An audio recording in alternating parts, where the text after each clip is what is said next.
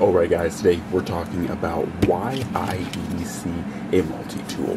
Now, you pretty much always see in any one of my EDC updates a multi-tool. Usually it's this guy or some amalgam of a Leatherman Charge Plus. But why do I EDC these and why do I prize them so heavily in my EDC as a whole? After all, I'm usually rocking some form of a knife like this guy here, this Spyderco Paramilitary 2. So why is it that I need an a multi-tool in my EDC? Well, first off, I want to say that I don't just I don't just EDC any multi-tool. Usually for me, the prerequisite or qualifier has to be that it needs to have a good set of plier heads on it.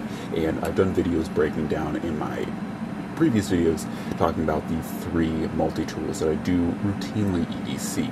One of them being the charge here, but also others being the Leatherman PST and the Skeletool, also by Leatherman. And on all three of the multi-tools, the biggest commonality is a really good set of pliers, and that is realistically the most valuable piece for me of a multi-tool. And certainly I do appreciate having things like scissors. I do appreciate having, you know, flathead or even sometimes Phillips head screwdrivers on my multi-tools as well. They can come in handy, especially if you need to do some pry-esque tasks and you don't want to compromise your beautiful, expensive knife's tip.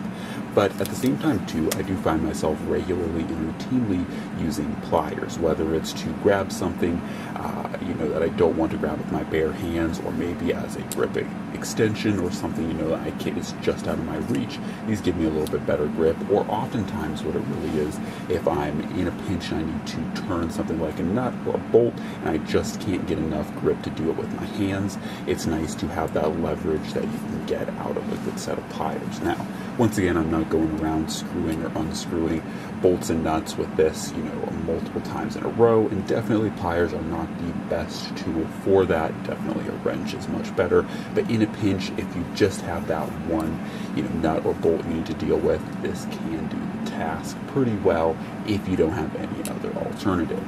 And so it's for those reasons that I really end up loving having a plier based multi tool.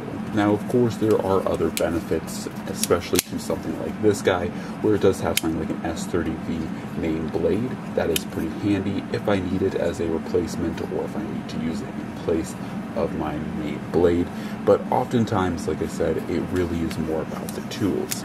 So other tools I do use a lot on multi-tools are scissors in an everyday capacity. Um, now outdoors, I don't tend to use scissors actually that much. That's why I tend to go with things like the Victorinox Farmer for a dedicated bushcrafting multi-tool. But um, you know, scissors are pretty handy for EDC tasks. In addition, like I said, having a really good flathead screwdriver that can be used as a bit of a pry bar is very handy. And then lastly, I think one thing that is very slept on for most multi-tools is having a really good saw. I use saws actually quite a lot um, in just different tasks and projects, whether they're EDC related or whether they're outdoor related. And honestly, a lot of times with my EDC, I find myself outdoors anyway, so having a really capable um, saw is very, very handy. Aside from that, though, those are essentially some of the biggest reasons why I carry a multi-tool. Now, like I said, the multi-tools I usually carry are predominantly the Leatherman Charge, the PST or Pocket Survival Tool, and the Skeletool. So those are kind of my options and the biggest reasons why I carry a multi-tool. What do you guys think? Do you always carry a multi-tool with you, or are you perfectly content with just running a knife?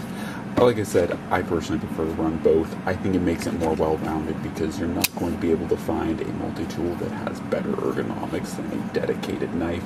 And most of the time, most of my knives are running a better steel, even CPM S30V but uh, you know having them in combination i don't think is too unreasonable. Some people do give me flack in the comments about saying why do you carry two knives essentially? But honestly i think every tool has a proper purpose and a proper reason and i've talked about that a lot of different videos so i won't hammer that in this video too much. But ultimately guys that is my setup and why i use the multi-tool every day. As always guys god bless and i'm